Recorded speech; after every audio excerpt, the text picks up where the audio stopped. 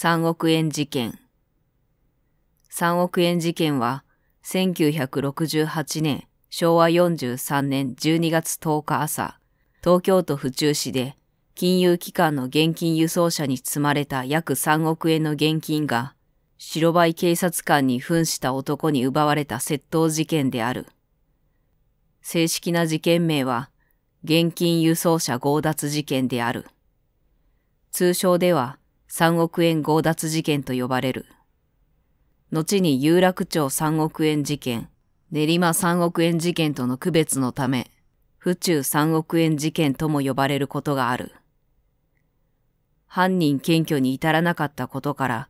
1975年、昭和50年12月10日に、刑事訴訟法250条における控訴事項が成立し、未解決事件となった。また、1988年12月10日には、除籍期間の経過により、損害賠償請求権も消滅した。日本犯罪史において最も有名な事件に数えられ、劇場型犯罪でありながら完全犯罪を成し遂げ、フィクションやノンフィクションを問わず、多くの作品で取り上げられている。概要。現金輸送車に積まれた東京芝浦電機、現東芝、府中工場の従業員4523人に支給されるボーナス2億9430万7500円が白バイ隊員に扮した男に奪われた事件である。3億円強奪事件とも言われているが、日本の刑法においては、本件犯行は強盗罪には該当せず、窃盗罪となる。盗まれた約3億円には保険がかけられていたことから、日本の保険会社が給付した保証金によって全額が賄われ、事件の翌日にはすべての従業員にボーナスが全額支給された。その保険会社もまた再保険をかけており、日本以外の保険会社によるシンジケートに出債していたことから、給付した金額分が補填されたために、直接的に日本国内で金銭的損失を被った者がいなかった。犯人は暴力に訴えず、計略だけで多額の現金強奪に成功し、保険による補填で金銭的に実害を被った者がいなかったことから、被害金額2億9437万1510円の頃で、現金強奪犯は、憎しみのない強盗とも言われる。一方で、マスコミの報道被害を受けて後年自殺した人物や、捜査の過労で殉職した警察官が2名いるなど、事件の影響を受けて数奇な運命に翻弄されたり、不運に見舞われたりする人たちも一部で見られた。警視庁の捜査において、重要参考人リストに載った人数は、実に11万人にも達し、捜査に投入された警察官は、延べ17万1346人、捜査費用は7年間で9億7200万円以上が投じられるなど、空前の大捜査となったが、最終的に犯人検挙には至らず、1975年、昭和50年12月10日、控訴時効が成立した。時効期間7年。1988年、昭和63年12月10日に民事の時効も成立した。時効期間20年。本事件は日本犯罪史に名を残す未解決事件となった。この事件以来、日本では多額の現金輸送に対する危険性が認識されるようになった。この事件をきっかけとして、従業員の給与や賞与等の支給を金融機関の口座振込にすることが一般化し、専門の訓練を積んだ警備会社の警備員による現金輸送警備が常態化した。盗まれた紙幣のうち、記番号が判明した500円紙幣2000枚分、XF227001A から 229000A が警察から公表された。うち XF227278A、のみ見つかっているが、数字の一つが傾いていたことから偽札であるとみなされている。貨幣価値。事件から半世紀以上が経った現在でも、被害金額3億円は豪邸の購入に匹敵する大金であり、現金窃盗事件としては当時の最高金額であった。これは2014年、平成26年の貨幣価値に直すと、消費者物価指数で見れば約3.5倍の約10億円の価値にあたる。事件当時、大卒の初任給が約3万600円と言われ、2016年の初任給20万3800円と比較すれば、約20億円の価値に相当する。その他、50から100億円の価値に相当するという意見もある。いずれにせよ、その後に起こった現金強奪事件と比べても、貨幣価値においては、未だ国内最高である。事件の経緯。1968年、昭和43年12月6日、日本信託銀行、後の三菱 UFJ 信託銀行、国分寺支店長宛てに、速達で郵便物が届いた。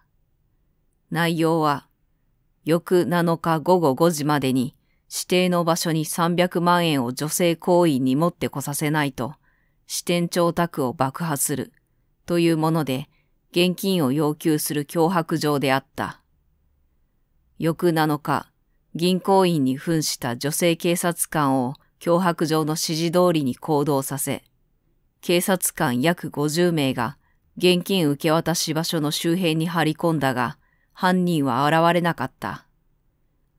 脅迫事件があった4日後の12月10日午前9時15分、日本信託銀行国分寺支店現存せず、から東京芝浦電機、現東芝、府中工場へ、工場従業員に支給するボーナス2億9430万7500円の現金が入った、ジュラルミン製トランクケース3個を輸送する現金輸送車、日産セドリック1900カスタムが銀行を出発した。輸送車は国鉄中央線のガード下を通り、国分寺街道を南下した後に、明星学園前交差点を右折し、府中刑務所裏の府中市栄町、通称学園通りと呼ばれる通りに差し掛かった。学園通りを半分くらい走行したところで、突然後方から警察の白バイが猛スピードで現れ、走行中の現金輸送車を反対車線から追い抜き、警察官が左手を上げながら輸送車の前を塞いで停車させた。その白バイは、なぜかバイクの後方に軽自動車用のシートカバーを引っ掛けたまま、それを引きずって走っていた。現金輸送車の運転手は、白バイに捕捉されたことから、スピード違反でもしたのか？と思い、スピードメーターを確認したが、時速30キロの制限速度を守って走行しており、なぜ止められたのかと疑問に思った。白バイから降りた警察官が小走りで車に近寄ってきたので、運転手は窓を少し開け、どうしたのか？と聞いた。すると警察官は、小金井署のものですが、巣鴨警察署からの緊急連絡で、紀宝の銀行の巣鴨支店長宅が爆破されました。この輸送車にもダイナマイトが仕掛けられているという連絡があったので、車の中を調べてください。と言った。運転手が、昨日点検したが、そのようなものはなかった。と答え、後部座席に乗車していた行員二人も車内を確認したが、それらしきものは見つからなかった。白バイ警察官が車の下にあるかもしれないといったことから銀行員たちは念のため車の外に出ることになった。この時運転手は輸送車のエンジンは切ったがキーは刺したまま車を降りた。そのキーには車のトランクやジュラルミンケースのキーも一緒に束ねてつけてあった。白バイ警察官は車の前方へ回りボンネットを開けてエンジン周りを点検した後、現金輸送車の下回りを捜索し始めた。4日前に支店長宅を爆破する旨の脅迫状が送りつけられていたこともあり、銀行では不審物に警戒するように通達を出していた。そのことにより、ダイナマイト捜索という緊迫感がある雰囲気に銀行員たちは飲まれていた。白バイ警察官は輸送車の車体下に潜り込んで捜索していた。すると輸送車の下から突然、白煙と赤い炎が吹き出し始めた。白バイ警察官は、あったぞ、ダイナマイトだ、爆破するぞ、早く逃げろ、と叫び、4人の銀行員を車から退避させた。銀行員たちは爆発の危険から身を守ろうと現金輸送車から東へ100メートルほど遠ざかり、民家の物陰や垣根に身を伏せた。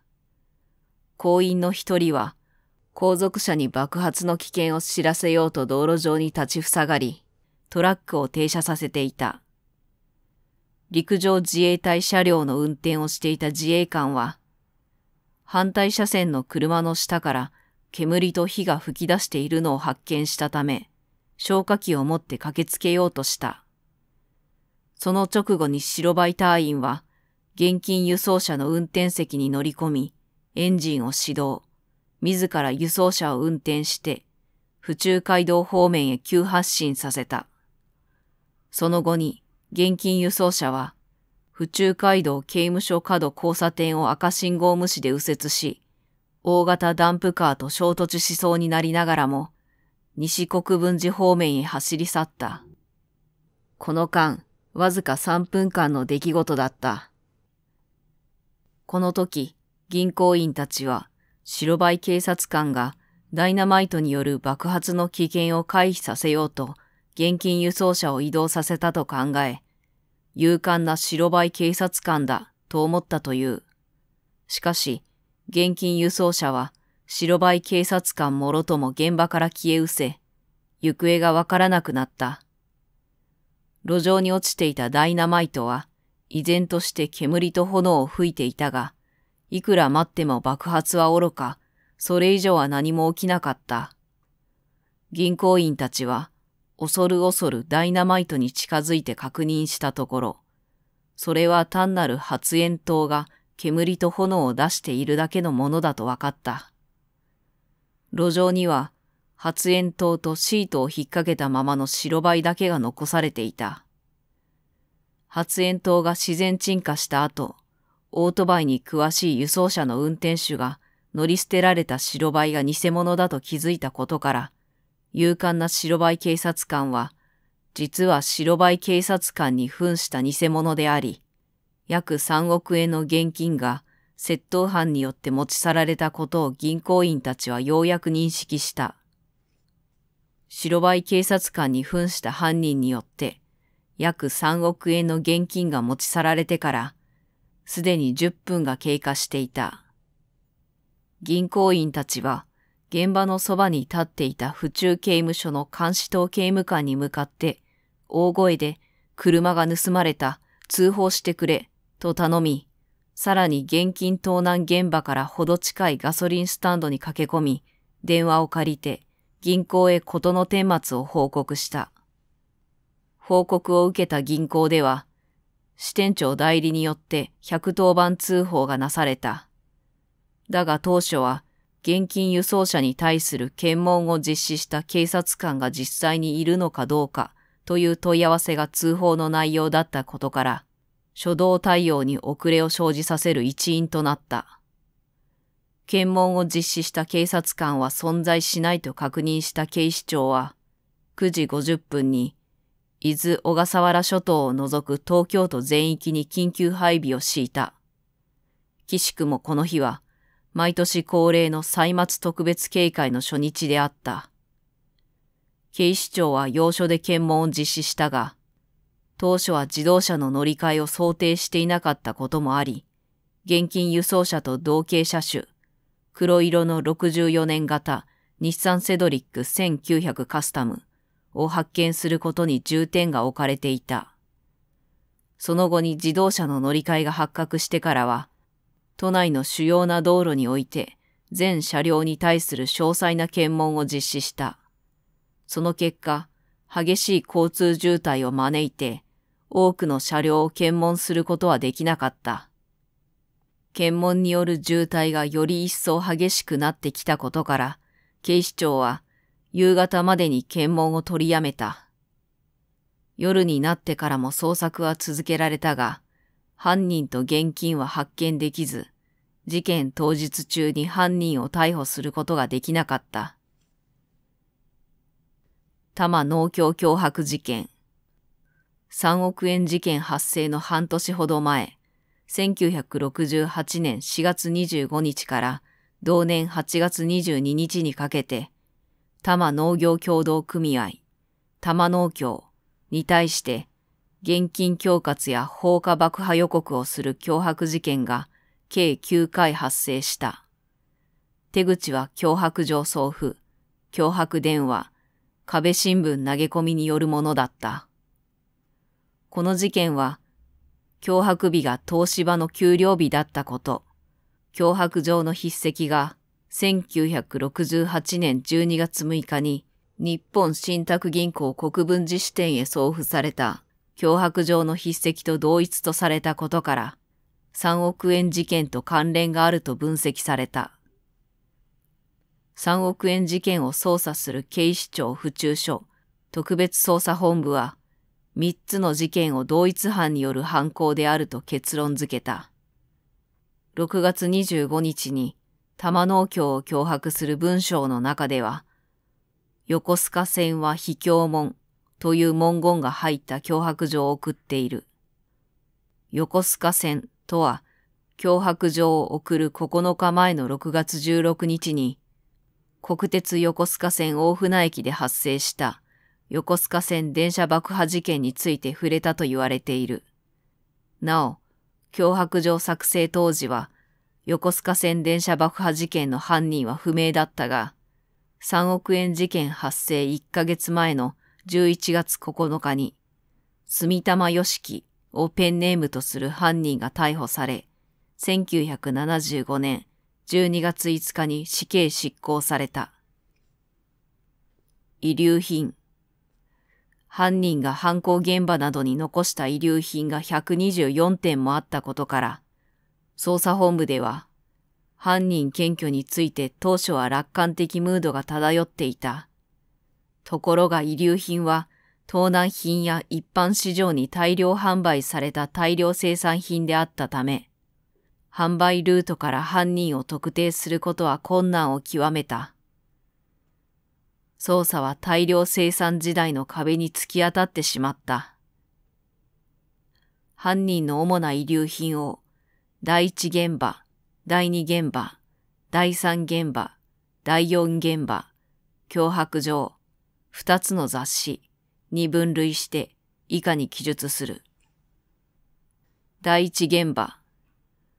府中市栄町、府中刑務所北側の学園通り路上が第一現場と呼ばれている。3億円強奪事件が起きた現場である。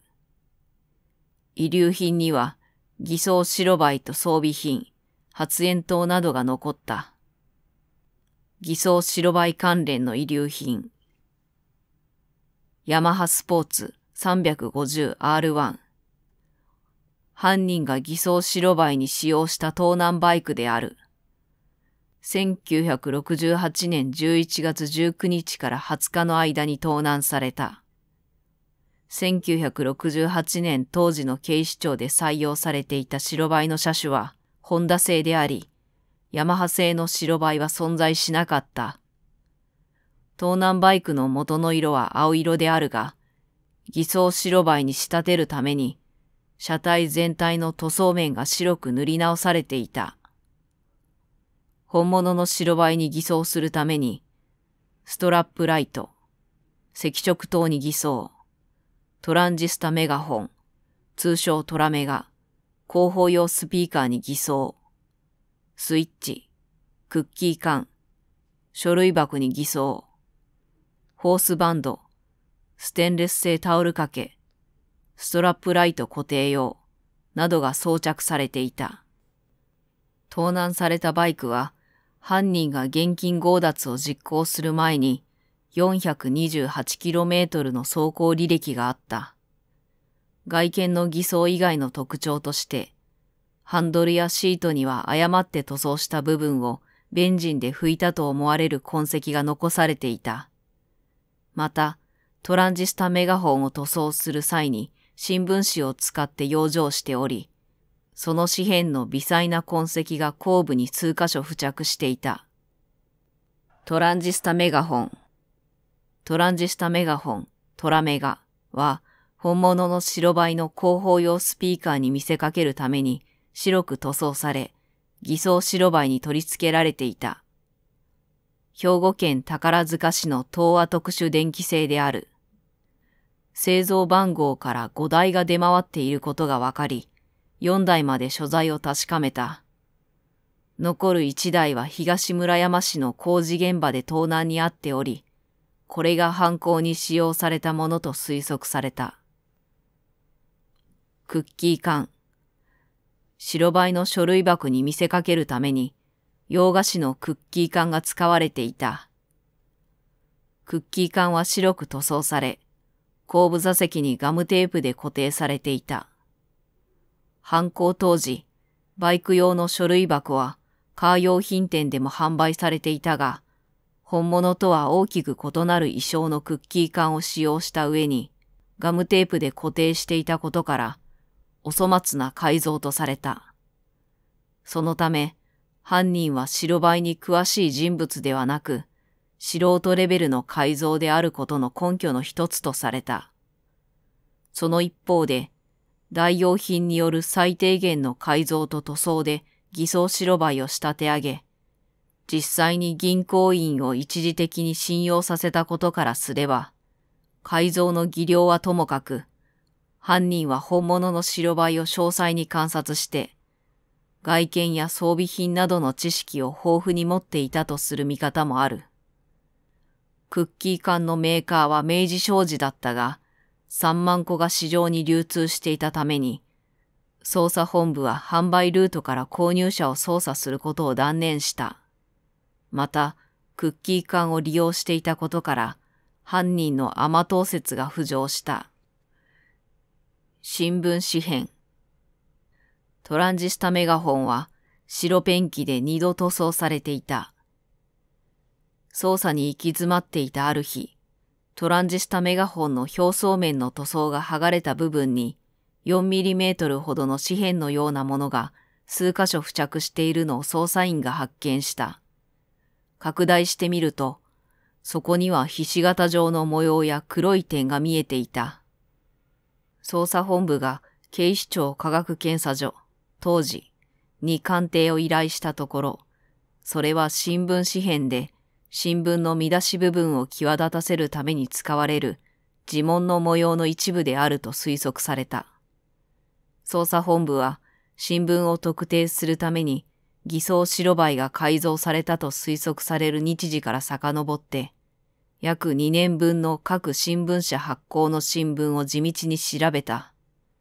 すると、1968年12月6日発行の産経新聞長官13版11面、婦人面掲載の食品情報という記事の見出し部分に使われていた漢字、品の右下部分であることが判明した。決め手となったのは、呪文の模様が一致したことである。呪文は各新聞社が独自にデザインすることから、種類も千差万別であるが、各社で特徴が出ることから、判別が可能だった。紙片の分析を行ったところ、紙は愛媛県伊予三島市の大陽製紙の工場で作られたと判明した。さらに分析した結果、製造された紙が使われていた産経新聞が配達された地域は、東京都三多摩地区であることが判明した。その後に東京都多摩地区での配布数は13,485部、販売所数は12箇所と特定された。しかしながら、配達地域の住民の転出入が激しかったことや、新聞を購読する家が頻繁に変わっていたことから捜査は難航した。2年がかりで販売所を特定できたが、順路帳、配達先の住所録は処分された後であり、新聞紙幣による捜査では、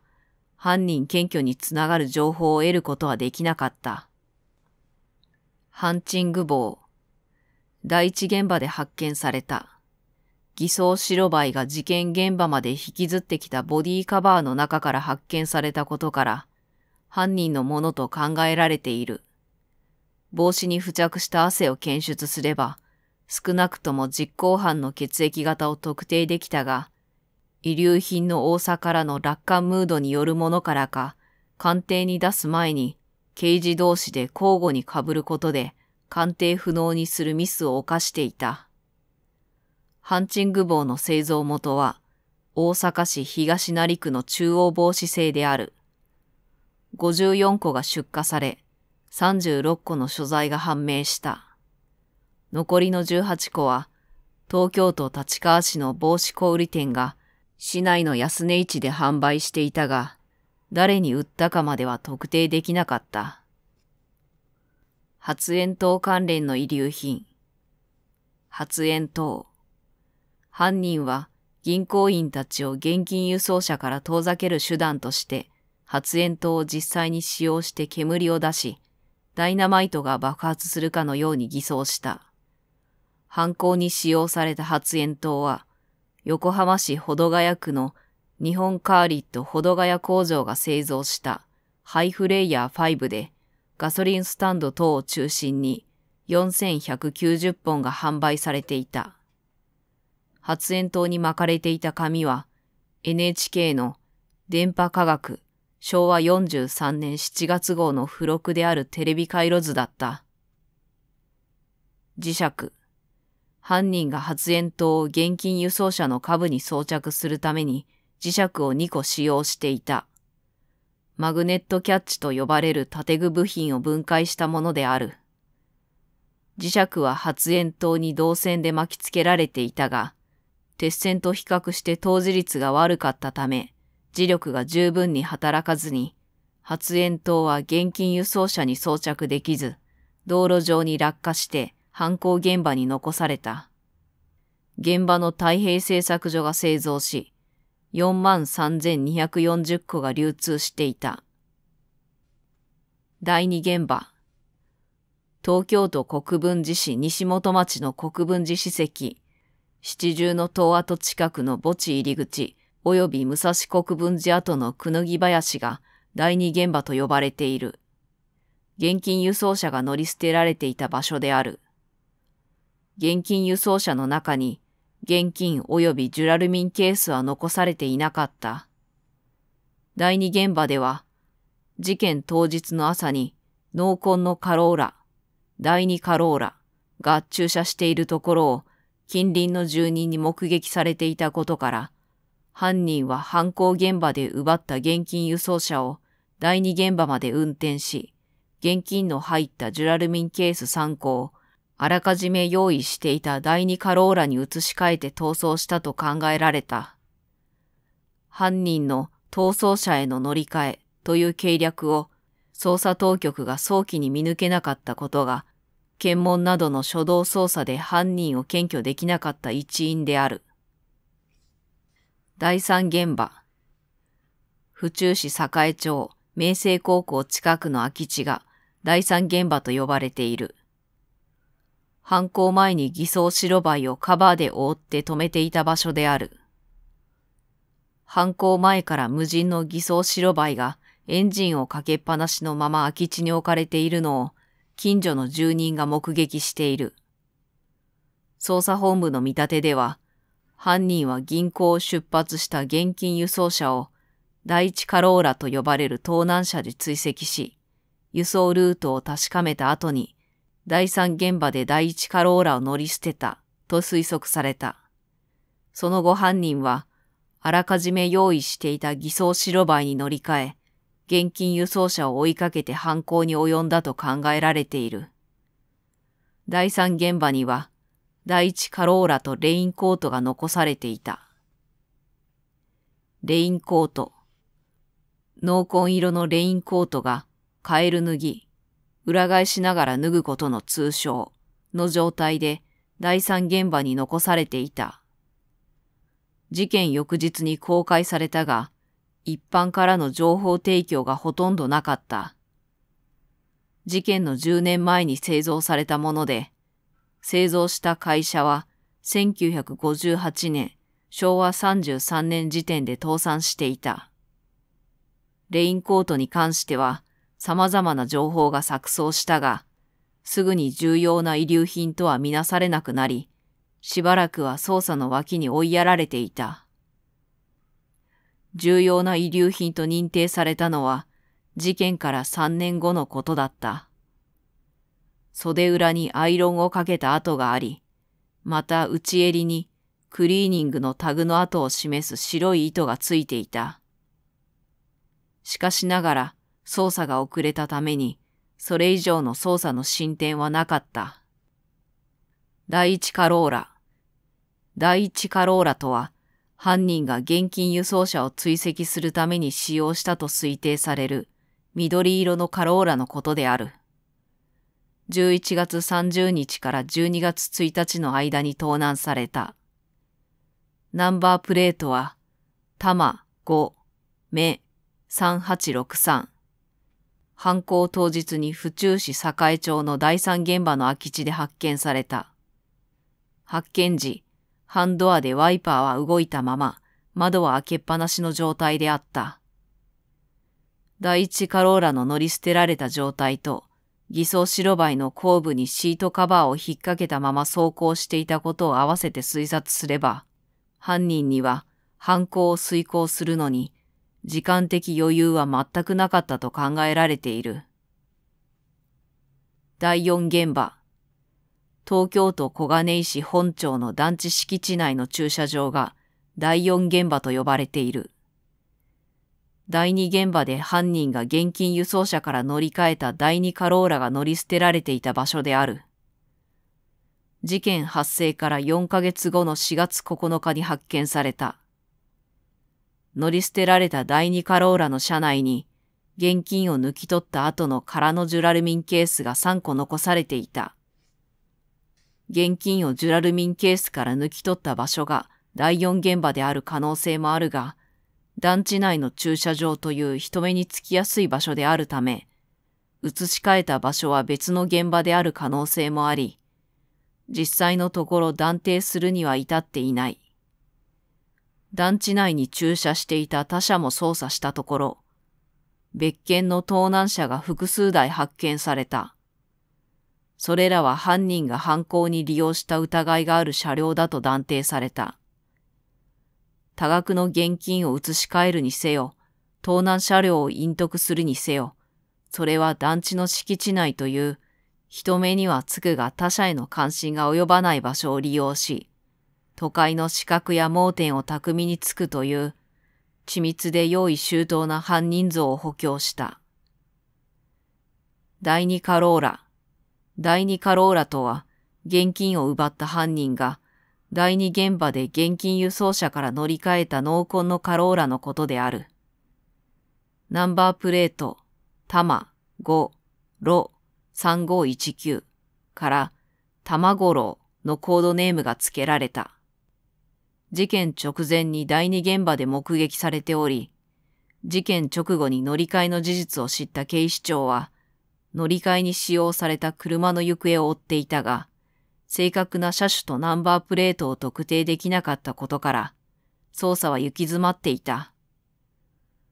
車は盗まれたシートカバーで覆われていたため、発覚するまでに時間を要し、事件発生から4ヶ月後の4月9日に、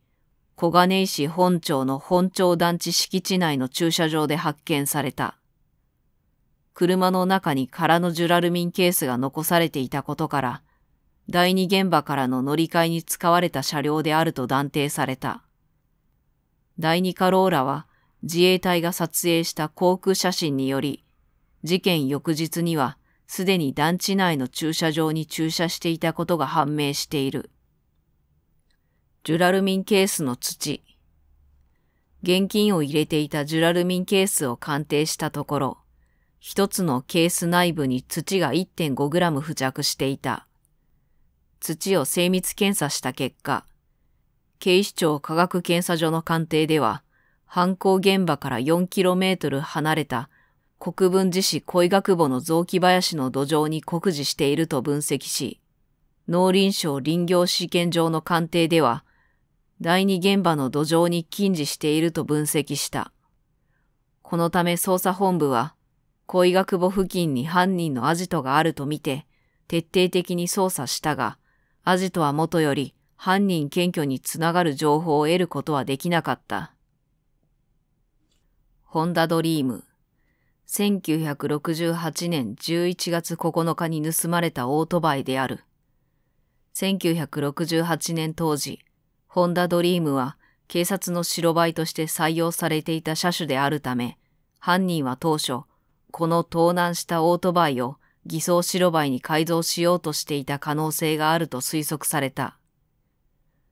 盗難後の走行距離は60メートルと短かった。オートバイの持ち主によると、この車体は減速時にノッキングを起こしやすい不具合があったという。犯人は盗難後に試運転を行い、エンジン系の不調に気づいたため、別の車体、ヤマハスポーツ 350R1 を入手して偽装白バイに改造したと推理された。3台の盗難車。第2カローラ以外にも第4現場に放置された盗難車が3台存在することが判明した。車種は、プリンススカイライン 2000GT、日産ブルーバード、プリンススカイライン1500である。各盗難車は、盗まれたシートカバーで覆われていたため、発覚を免れていた。1971年、昭和46年、工学者のぬかた岩尾は、警察の依頼で遺留品の鑑定を行い、2台のシートカバーの紐の結び方を比較した。額田氏の見解によれば、それぞれの結び方が異なるため、ブルーバードを盗んだのも3億円事件の犯人だとすれば、3億円事件の犯人は複数犯であると結論付けている。ギャンブル関連品。盗難者、プリンススカイライン 2000GT の車内に、競馬専門誌2誌とスポーツ誌一部、府中の東京競馬場近くの喫茶店のマッチ、平和島協定のチラシが残されていた。いずれの遺留品も、車の持ち主には身に覚えがない物品であることから、車を盗難した犯人が所持していたものと推測された。そのため、犯人像としてギャンブル愛好家説が浮上した。女性もののイヤリング。盗難車プリンススカイライン1500の車内から女性もののイヤリングが発見された。車の持ち主には身に覚えがない物品であることから、車を盗難した犯人が所持していたものと推測された。犯人の身近にいる女性のものか、あるいは犯人が複数犯であれば、犯行グループの中に女性がいる可能性が浮上した。脅迫状。銀行に脅迫状を送付した封筒に貼られた切手に唾液の痕跡があり、B 型の血液型が検出されている。また、脅迫状は雑誌の切り張りと手書きで文章を作成していたが、その雑誌が発煙筒の巻紙に使われた雑誌と完全一致したことから、脅迫状を送った犯人と現金強奪犯が同じであることが明らかになった。多摩農協脅迫事件と日本信託銀行脅迫事件の両事件で送られてきた脅迫状の文面の特徴として、以下の特徴があった。運転者、今一度の機会など、特定の業種が使う言葉を使用。語句と語句の間を分ける分かち書きの使用。協調語句の右隣に、黒丸、棒、黒丸、棒、黒丸という記号を使用。俺たち、我々などの複数犯を思わせる記述。昆虫置き場など電話関係者の業界用語の使用。多摩農協職員の車のナンバーを特定している記述。二つの雑誌。脅迫状の作成と発煙筒の加工には、近代映画と電波科学という二つの雑誌が使われていた。近代映画のページから文字を切り抜いて脅迫文を作成し、電波科学からは文字の切り取り以外に付録のページ全体を切り取り、発煙筒の外側に巻いていた。捜査本部は二つの雑誌の読者層を分析して犯人を捜査した。しかし、二つの雑誌の読者の趣向は両極端であり、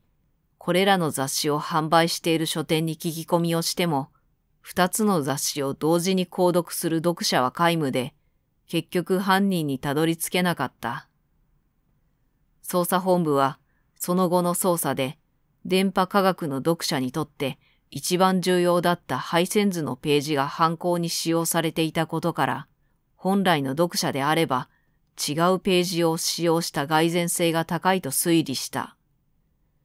犯人は捜査を攪乱するため、無作為に2冊の雑誌を入手して犯行に使用したものと結論付け、雑誌に関する捜査を打ち切った。実行犯に関する目撃証言。事件発生の少し前、犯行に使用された偽装白バイに関する目撃証言が集まっている。1968年11月下旬の朝8時頃に、府中市の市道を走行していた青いオートバイ、さらには、同12月1日深夜に、京葉線高畑不動駅近くで一方通行の道路に対して逆向きに止めてあった青いオートバイがそれぞれ目撃され、2件の目撃情報とも4桁のナンバーが偽装白バイに使用されたオートバイ、ヤマハスポーツ 350R1 と同じであった。また事件前日の12月9日20時40分には、府中市交差点で不自然なスピードで走行する本物の白バイよりもシートが高い違和感がある白バイとすれ違ったとする目撃証言がある。現金強奪前の第三現場では、シートをかぶせられた白バイの目撃証言が寄せられた。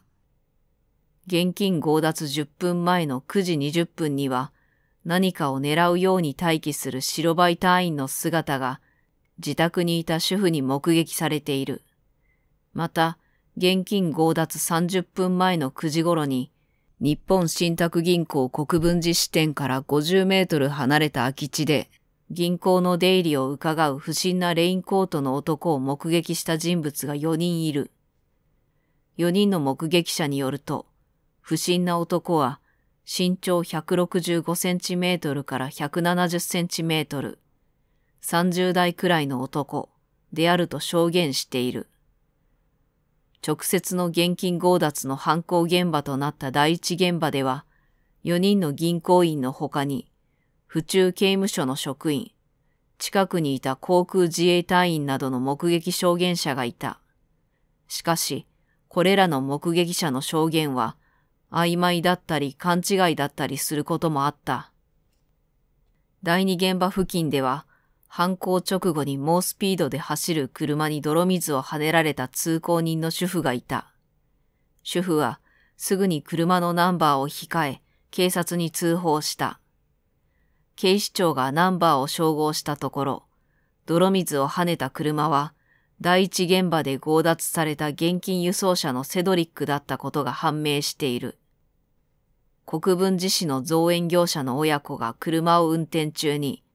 乱暴な運転のノーコンカローラと寸出のところで接触事故になりかけた。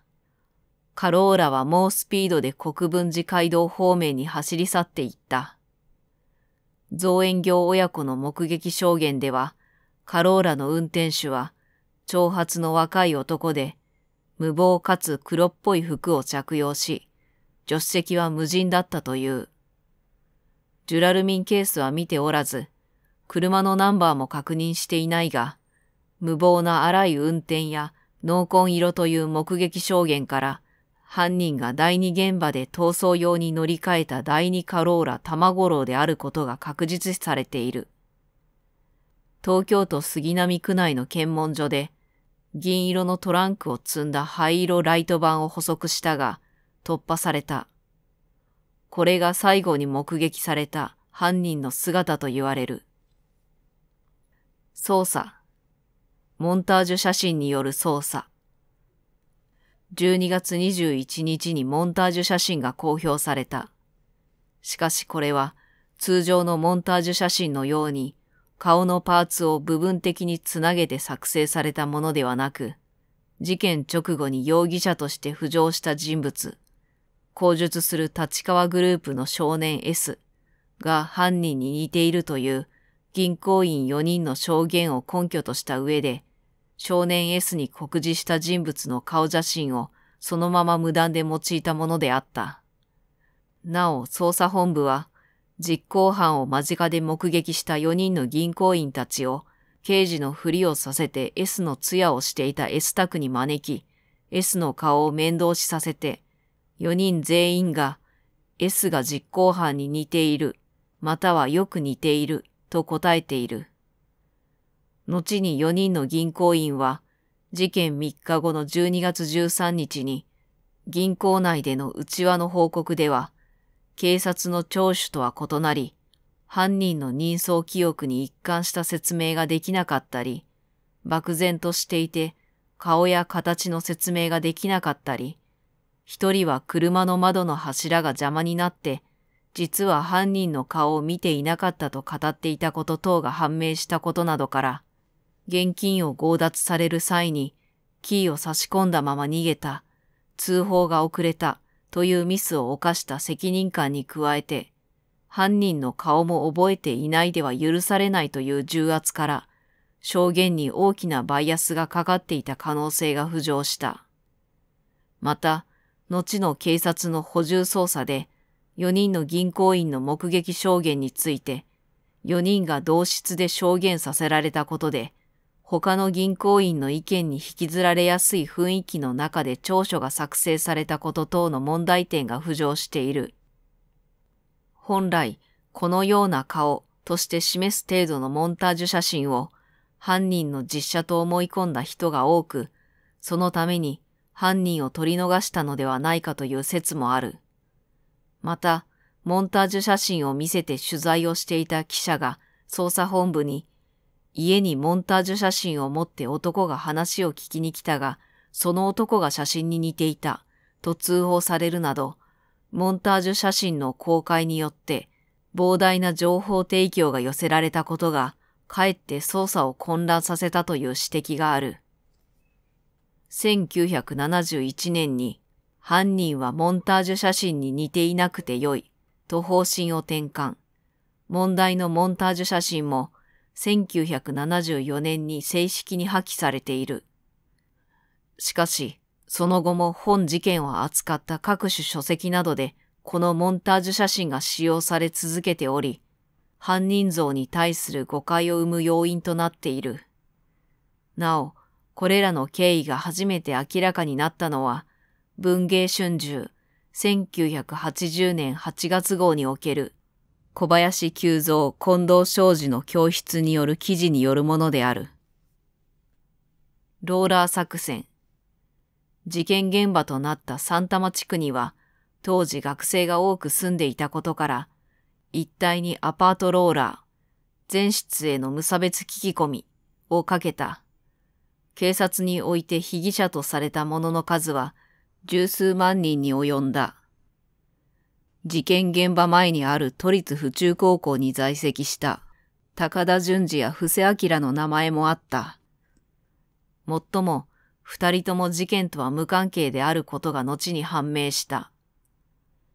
なお事件自体が当時盛り上がりを見せていた学生運動の摘発を目的とする強引な捜査の口実として捏造されたとする陰謀論も存在する。その他の捜査。通常の事件と同様に、遺留品などから検出された指紋の照合も行われていた。しかし、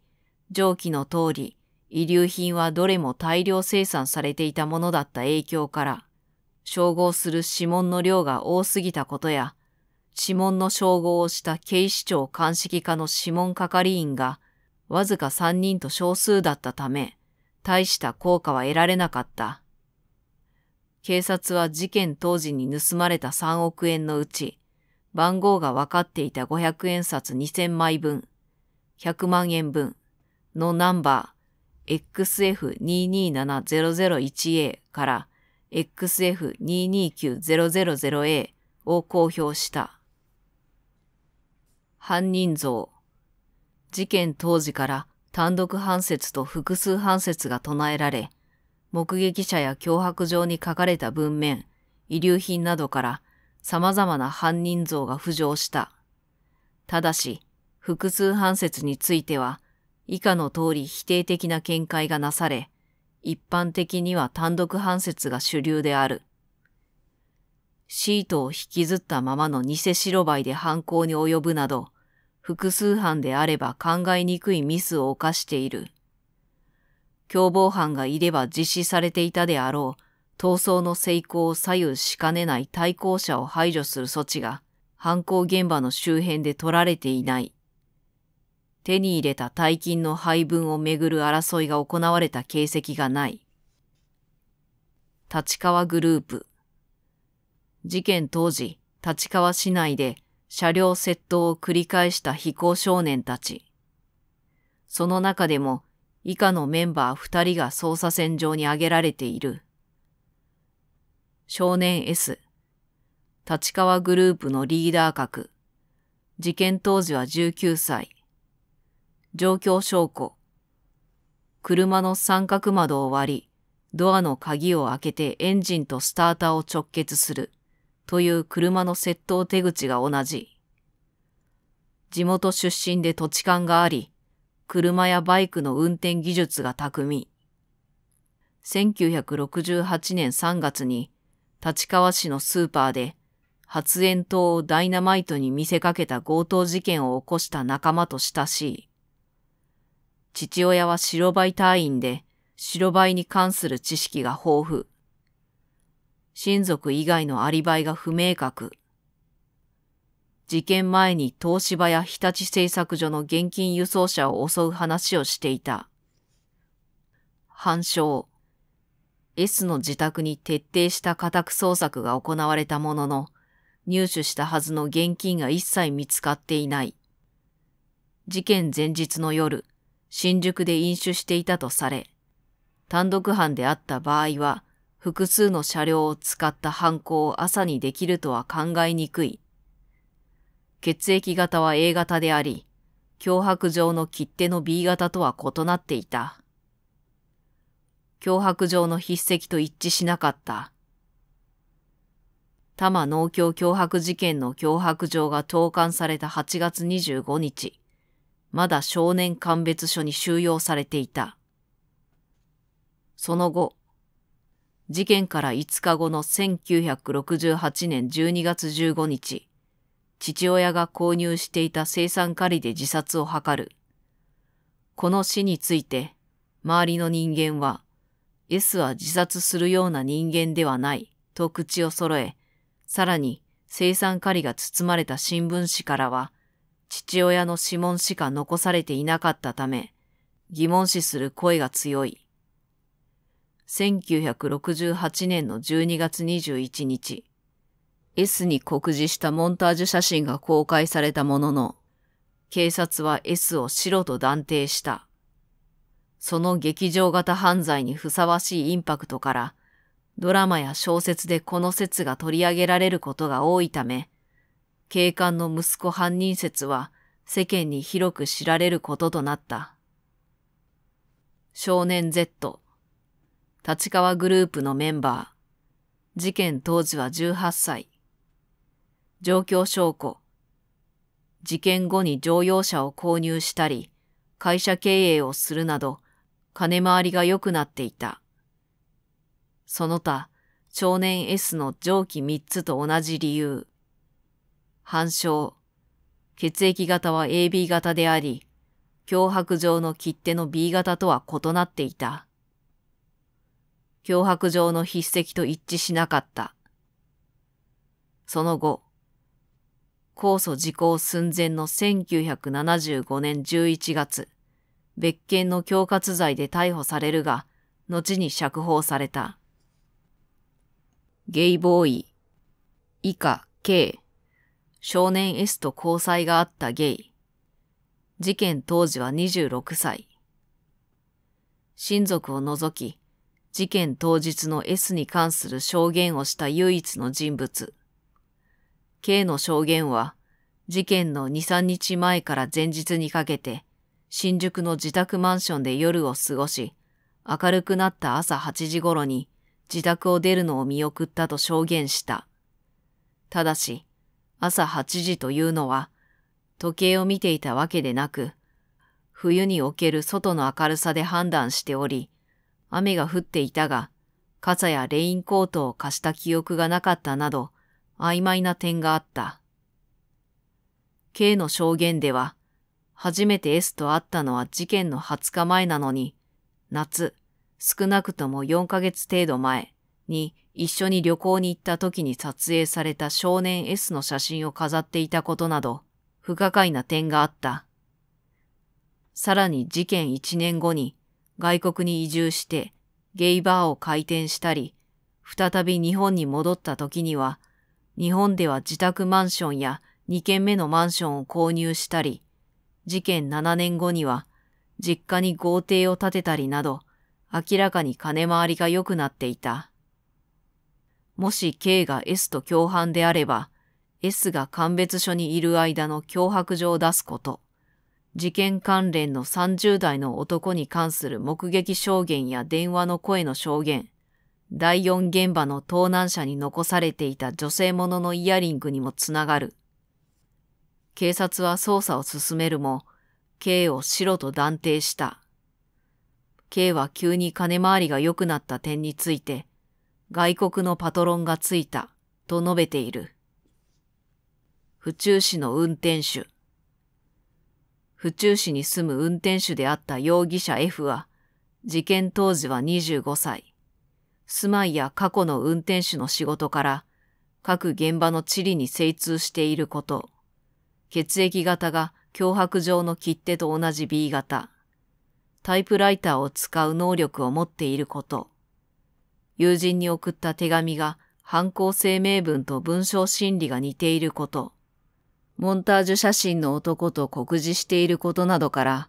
12,301人目の容疑者候補として浮上。しかし、脅迫状の筆跡が異なっており、金回りに変化がないことから、警察は慎重に捜査することとしていた。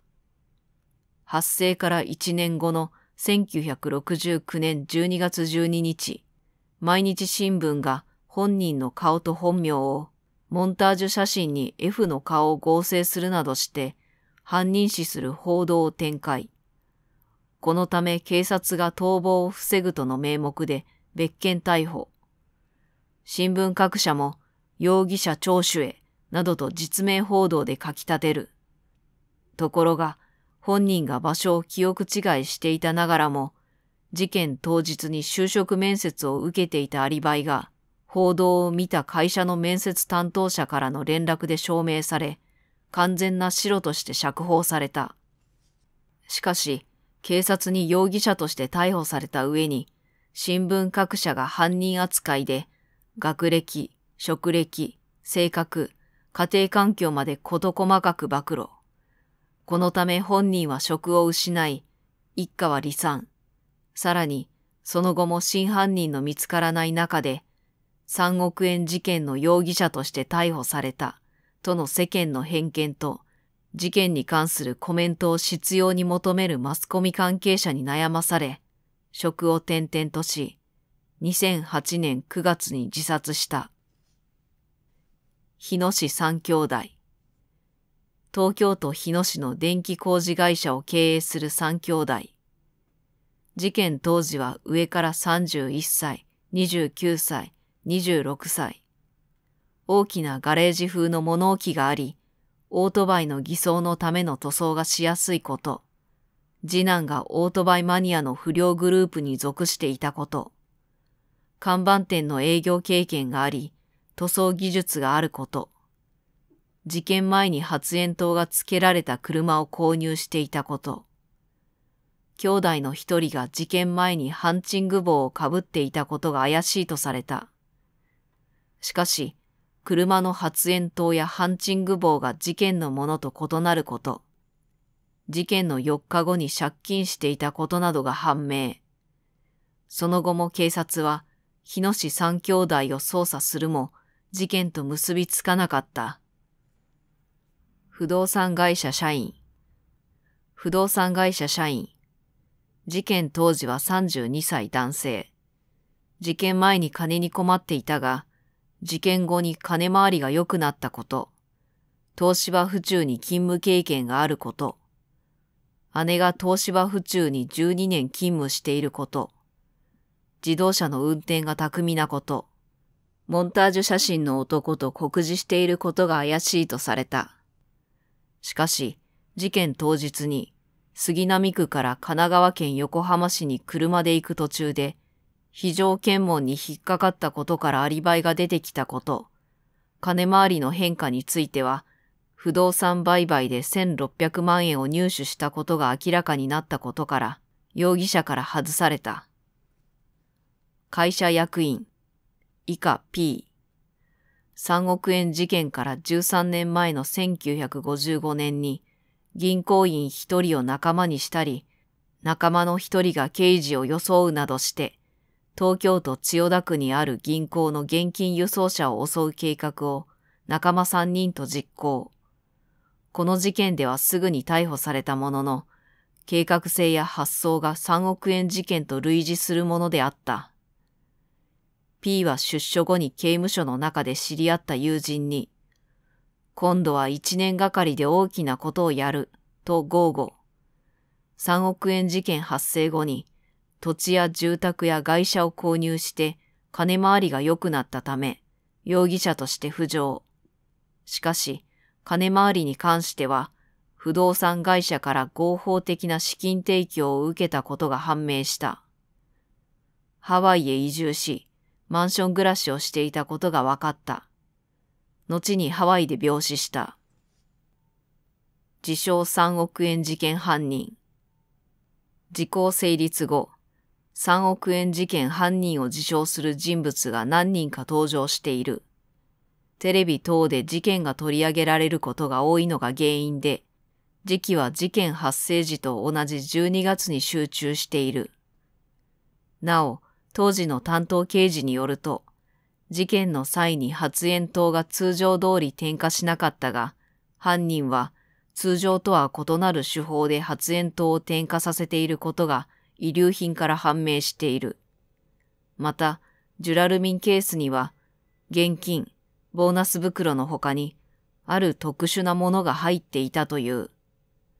発煙筒の特殊な点火手法や、ジュラルミンケースに留置されたものは、一般発表されておらず、捜査関係者と真犯人しか知らないはずである。